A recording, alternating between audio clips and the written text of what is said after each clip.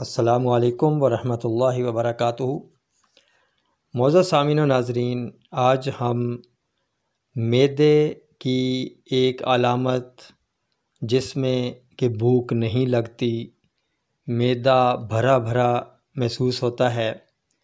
खाने की बिल्कुल ख्वाहिश नहीं होती, प्यास भी नहीं लगती, और मतली की कैफियत रहती है कि थोड़ा सा खा लिया जाए तो मतली सी होने लगती है। और तबीयत नढाल रहती है और पेशाब भी है, वो ज़्यादा आता है, कमज़ोरी महसूस होती है। और इसके साथ साथ ऊँग सी आती रहती है, खून की कमी भी होती है। और पेट में गैस कभी इधर, कभी उधर घूमती हुई महसूस होती है, डकार भी आते हैं। गोया के मैदे की ये एक ऐसी अलामत है कि अतिबा कराम इस कैफियत को सर्दी से ताबीर करते हैं कि ज़ोफ़ मैदा जो है ये सर्दी की वजह से है। और इसके इलाज के तौर पे इसमें गर्म खुश्क गज़ाएँ और दवाएँ इस्तेमाल की जाती हैं।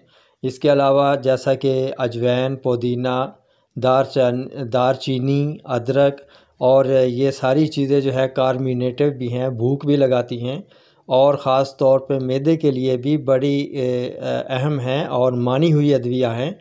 तो इनके इस्तेमाल से या तो इसका बराबर वज़न में पाउडर बना लिया जाए या फिर बराबर वज़न में ही इसको इसको आप एज़ ए कहवा इस्तेमाल कर सकते हैं।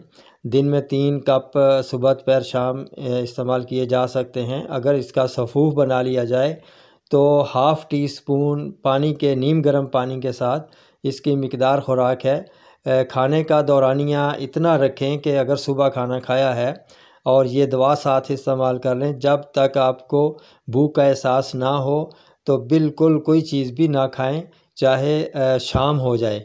और अगर रात को खाते हैं, सुबह जब उठे हैं तो आप बिल्कुल ख्वाहिश नहीं है खाने पीने की। तो बिल्कुल ना खाएँ पिए, सिर्फ़ ये कावा इस्तेमाल कर लें। और उसके बाद जब तक आपको भूख का एहसास ना हो दिल ना चाहे कि मैं कोई चीज़ खाऊं उस वक़्त तक कोई चीज़ भी इस्तेमाल नहीं करनी। तो इससे मैदा मैदे की जो सर्दी है वो ख़त्म हो जाएगी। जो रतुबात उसमें भरी हुई हैं वो ख़त्म हो जाएँगी। तो निज़ाम बाकायदा तौर पे एक सिस्टम में चल चल, चल पड़ेगा। यानी कि डाइजेस्टेड के लिए हरारत की ज़रूरत होती है। इन चीज़ों से हरारत भी मिलेगी। और जब आप इसको ज़्यादा से ज़्यादा मैदे को खाली रखेंगे तो तब भी इसके अंदर हरारत पैदा होगी।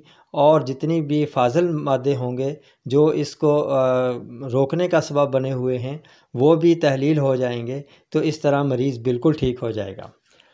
वीडियो पसंद आए तो लाइक, शेयर ज़रूर कीजिए। तंदरुस्ती अनमोल नेमत है।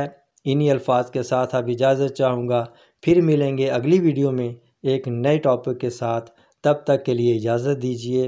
अल्लाह हाफिज़।